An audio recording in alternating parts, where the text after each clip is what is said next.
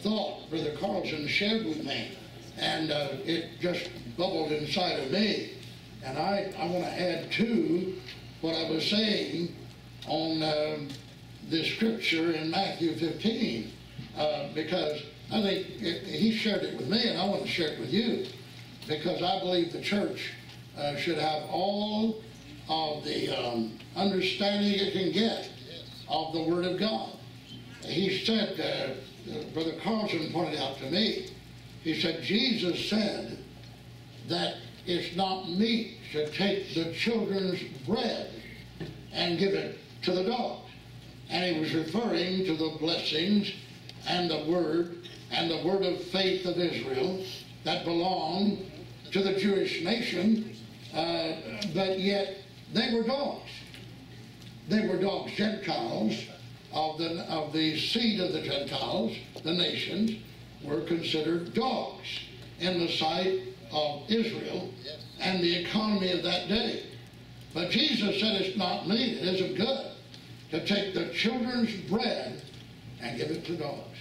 Brother Carlson said, Brother Marlow, uh, point out a thought there, that the children's bread, uh, what, that, was, that belonged to the children.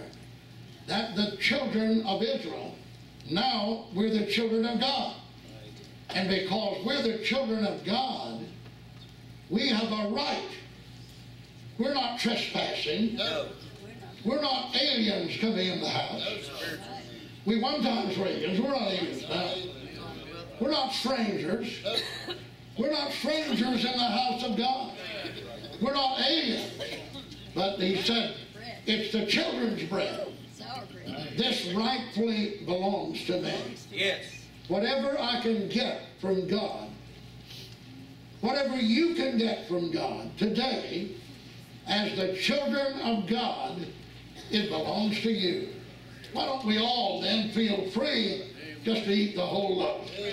Take all the bread, everything that is good from God, everything that belongs to God, belongs because we're now in the house as the children of God.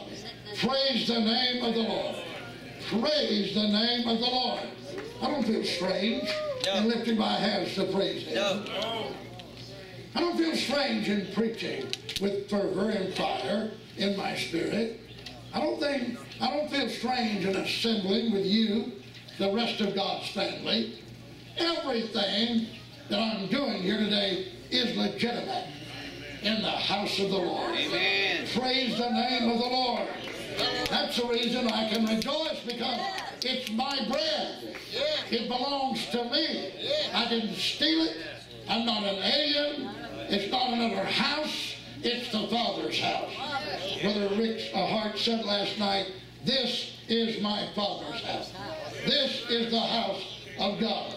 We have a reason today to look around and say, neighbor, you've got a right to praise the Lord. Go ahead and praise the Lord. You, you have a reason to praise Him. We have a reason to shout.